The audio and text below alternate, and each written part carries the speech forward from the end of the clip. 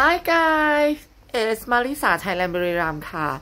I just came back from work and I slide uh, my phone on TikTok and I saw a video uh, that they talk about um, square tab, um, like blocks, colors on the toothpaste.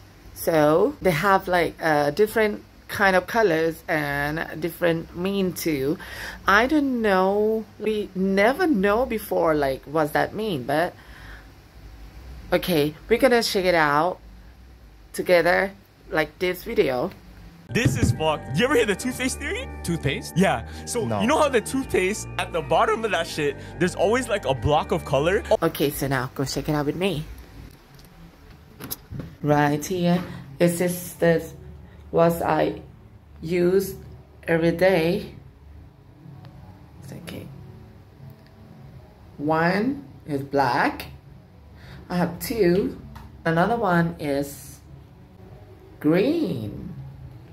So, what you guys have, show me on the comment down below.